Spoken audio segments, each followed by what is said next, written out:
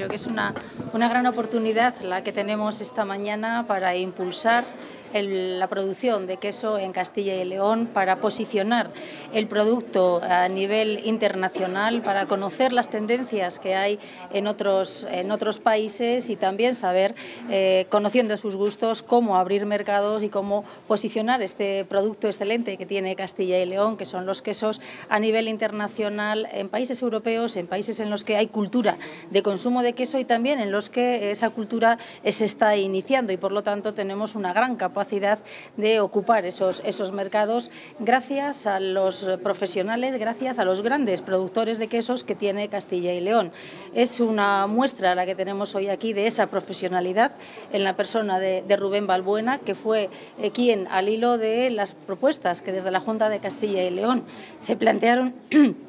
en lo que es la plataforma de productividad de la leche de, vaca, eh, derivado también, en cierto modo, de la crisis eh, que sufrió este, este sector y también de la plataforma de competitividad del ovino, la promoción, el aprender eh, nuevas formas de transformación, el avanzar para tener más capacidad de comercialización de nuestros productos. Castilla y León es una gran productora de queso, fundamentalmente de leche y de oveja. El 70% del queso de oveja que se produce en España se produce precisamente precisamente en Castilla y León. Es queso, por lo tanto, eh, de territorio, pero fundamentalmente es queso de calidad. Estamos hablando de actividad económica, estamos hablando de empleo en nuestros pueblos, de profesionales en la ganadería, de profesionales en el sector de la transformación, en el sector del queso. 104.000 toneladas al año de queso se producen en nuestra comunidad autónoma y, por lo tanto, eh, si unimos esta elevada producción, la capacidad y profesionalidad de los ganaderos con la capacidad capacidad y profesionalidad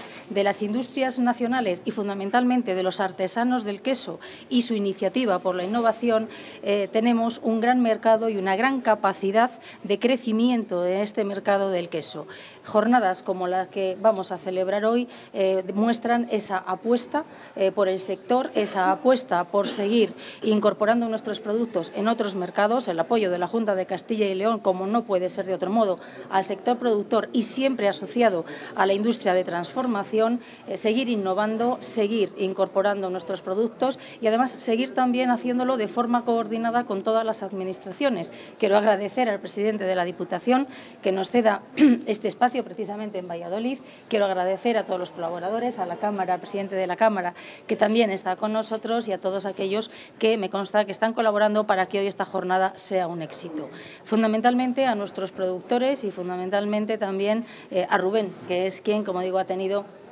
esta iniciativa y que eh, desde la Junta de Castilla y León queremos apoyar para promocionar eh, la cultura del queso, para promocionar el consumo de queso también en nuestra región y a nivel nacional. Y eh, además de la jornada para eso se promociona una feria en la que se ve cómo se puede consumir queso de diferentes formas, se puede transformar de diferentes formas y es bueno acompañarlo además con otros productos muy importantes también en nuestra tierra como son el vino, como es la miel, como son bueno, tipo de productos naturales, eh, saludables, importantes en la dieta eh, mediterránea, importantes para Castilla y León y para su economía.